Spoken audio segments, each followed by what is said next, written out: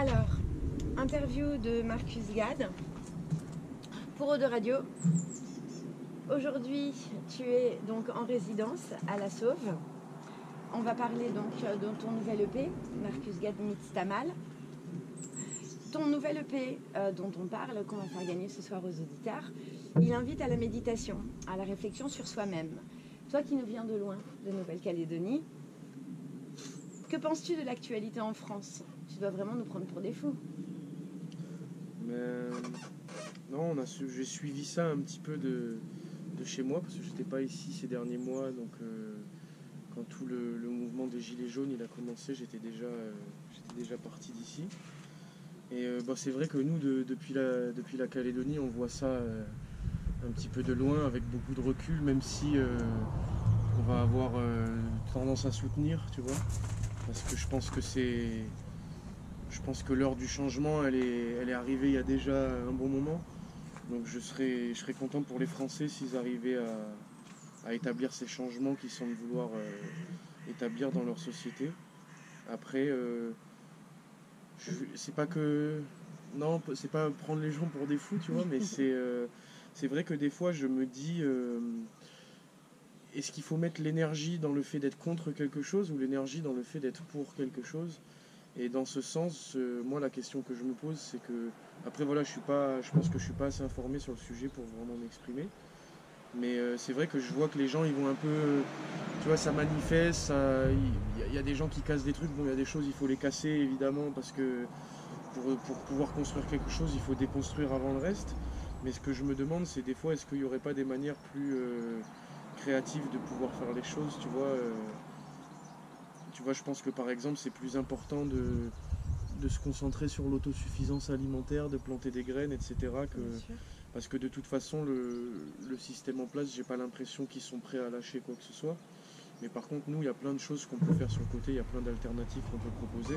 Je pense que la gouvernance de l'argent, bien sûr. Exactement. Et par exemple, je trouve que ce serait beaucoup plus, ça aurait beaucoup plus d'impact. Par exemple, si tous les gens qui étaient dans la rue, euh, qui, qui étaient dans la rue, ils- par exemple, ils arrêtaient de consommer dans les supermarchés pendant un mois et ils s'organisaient entre eux pour ne pas avoir à le faire, je pense que l'impact il serait monumental. Bien sûr, comme, comme arrêter de mettre l'argent sur les comptes en banque aussi. hein, Les, les banques Mhm. couleraient euh, en suivant. Bah alors, parlons maintenant de ta tournée que tu vas commencer en avril, qui Mhm. passe par la Belgique, la France, l'Espagne, la Suisse, l'Allemagne. Est-ce que tu ressens les mêmes émotions avec un public chaque fois différent? Ben, c'est c'est différent tout le temps en fait, ça dépend vraiment du public, tu vois. Moi, je, je trouve que c'est c'est ça que j'aime bien dans la musique, c'est qu'il y a cet échange qui est, qui est complètement spontané. Et que même si tu as prévu euh, quelque part le concert, euh, quelle chanson tu vas jouer dans quel ordre, euh, il y a des choses que tu peux pas prévoir en fait. Ouais, Et ça, c'est l'énergie que le public il t'envoie. Des fois, c'est juste une personne, tu vois. C'est parmi les centaines de personnes qu'il y a. Tu en as juste une, c'est un regard, c'est une énergie. Sourires. Et ça, ça, ouais, c'est, ça rend le truc euh, agréable justement du fait que c'est différent tous les soirs. Ouais, donc, euh, à, à chaque concert, son appréciation. C'est ça. Alors, est-ce que tu parles plusieurs langues? Euh, ouais, je parle anglais, français, euh, un petit peu d'espagnol. Et donc peut-être euh, un album tout en anglais ou un petit peu dans les trois? Bah là, c'est pour l'instant hein, tout, tout le, tout le travail que j'ai fait euh, est en anglais parce que je, voilà, moi j'oriente vraiment mon, mon travail vers le, vers le monde, tu vois. Alors après, je, on m'a demandé plusieurs fois de chanter en français. J'ai une première chanson en français là qui sortira dans quelques mois. Et, mais on va dire que si je chante en français, c'est vraiment pour m'adresser à mon peuple, à- chez moi en Nouvelle-Calédonie, parce que chez nous on, on parle français et 28 autres langues. Eh oui. Et, euh, et du coup, euh, voilà, mais c'est c'est vrai que j'ai jamais, euh, sinon, euh, eu, eu l'appel de chanter en français, parce que toute la musique qui me qui m'a bercé, elle était en anglais ou dans d'autres langues. Et, euh, et j'ai pas mal voyagé, et c'est vrai que j'ai envie de m'adresser au, au monde. Pas, la- le français, ça reste, euh, Ouais, ça reste une petite niche. Et, Bien sûr, l'anglais c'est plus universel. Mhm. Alors, après ta collaboration avec Tamal, le beatmaker parisien, sur cet album qui est euh, vraiment un succès, envisages-tu d'autres collaborations? Ouais, bah, moi je- après je suis toujours ouvert aux collaborations, c'est vraiment à la vibe, tu vois. Là je suis en train de, de bosser sur un nouveau projet euh, avec Zion Kings, c'est un collectif américain qui a, qui a, pas mal bossé avec Midnight, euh, Fire, Pressure. Et euh, donc du coup voilà cette connexion là elle s'est faite. Après voilà moi c'est vraiment euh, c'est vraiment à la vibe quoi. Si, si, la rencontre elle est là et que la vie elle a fait que ça se passait, ben, ça, se passe. C'est le feeling hein, toujours. C'est comme ça que les connexions se font. Hein. Alors dans ton album tu parles de nature, dans ton titre Ina Nature tu es en duo avec le Sokaïta. As-tu envisagé une tournée africaine avec Takana Zion, Natijan ou Tikenja Fakoli ou encore Alpha Blondie, pour ne citer que? Bah, Ce serait vraiment un rêve. Moi, je, j'aspire vraiment à aller tourner. Euh, j'adore tourner en Europe, mais je, voilà, comme on disait tout à l'heure, chaque public est différent, chaque concert est différent.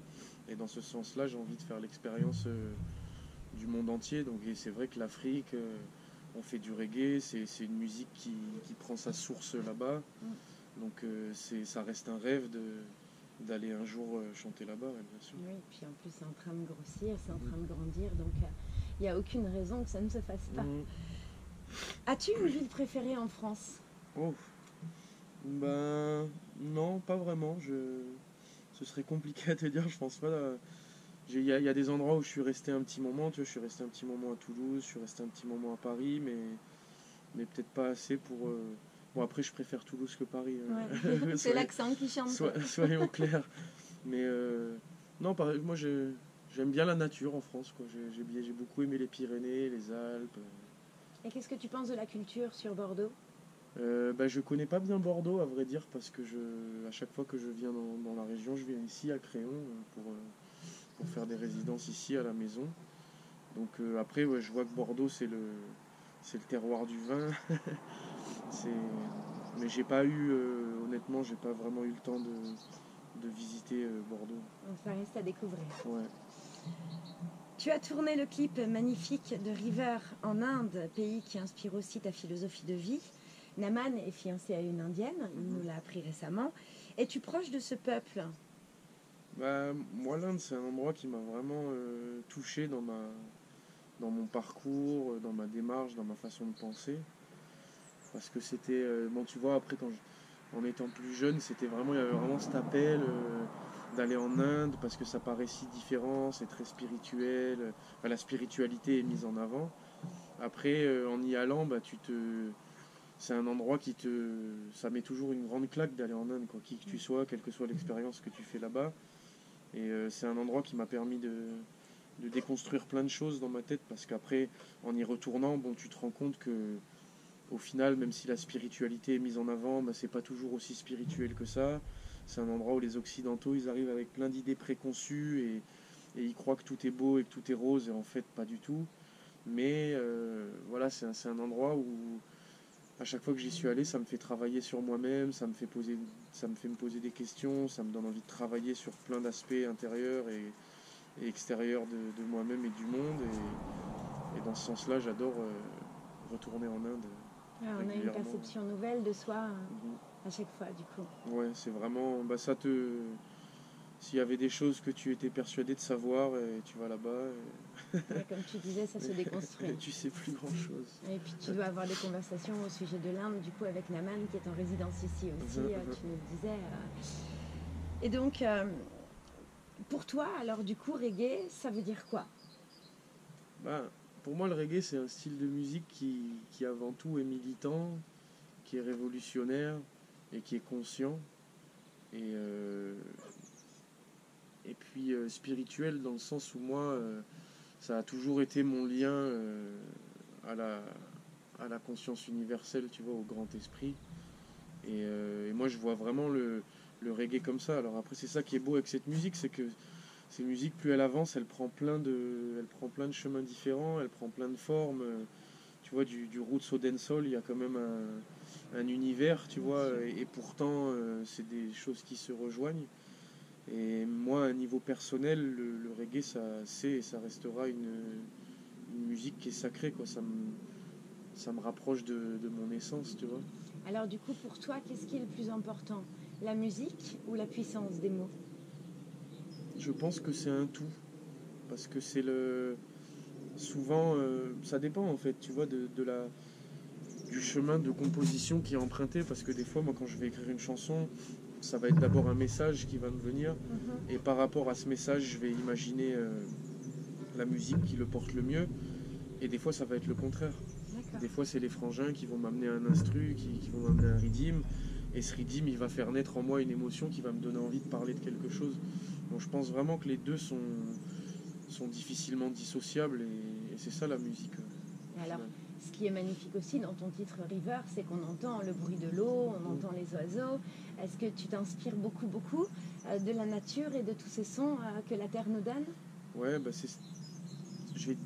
Pour moi, c'est un petit peu la plus grande source d'inspiration, tu vois. De... Puis ça, ça calme aussi, parce que c'est vrai que des fois, il y a beaucoup de choses dans la tête, le mental, il prend souvent le dessus. Surtout au- aujourd'hui, on est exposé à plein de choses, donc euh, des fois, ça court beaucoup dans la tête, et je trouve que le fait de, de se poser dans la nature ça, et de réapprendre à écouter, c'est c'est quelque chose voilà, qui amène du calme et de l'inspiration. Et puis surtout, je pense que Aujourd'hui, on a plein de sons de cloche différents. La jeunesse, on sait plus exactement vers où aller parce que tout est confus.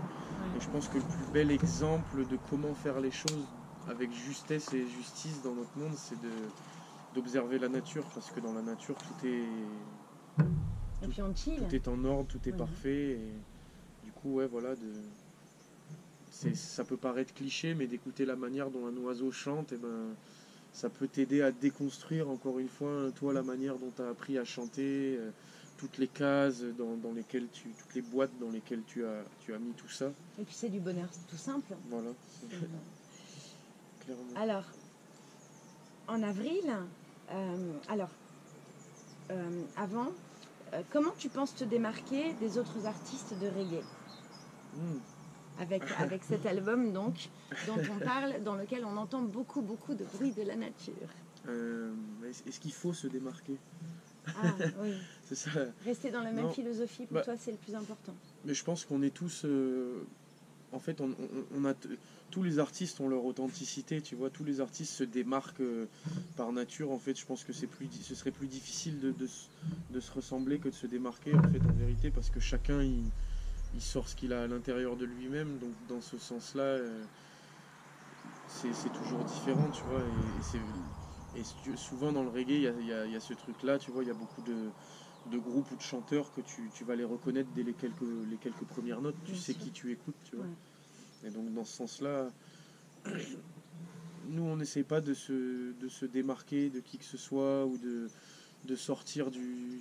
Tu vois, si, enfin, si, si le but c'était de se faire... euh, c'était de se faire remarquer, on aurait peut-être choisi un autre style dans l'époque actuelle, tu vois. L'idée c'est de faire passer l'émotion de, de- dans toutes les Ouais, vraiment. Puis de, des fois, pour moi, c'est pas vraiment explicable. C'est ce qui sort, quoi. C'est ce que, c'est, ce qui sort le plus naturellement. Et dans ce sens-là, euh, c'est ça que, j'ai envie de donner aux gens. Et, moi, ce que j'espère le plus, c'est que ça aidera les gens à, se rapprocher de l'intérieur et de leur, de leur vérité intérieure, à arrêter d'agir par peur et à agir plus par amour. Et moi, je sais que c'est la musique qui m'a aidé quand j'étais plus jeune à, à faire les choix et à sortir de, de ces boîtes dont on parlait juste avant. Ouais. Et du coup, si,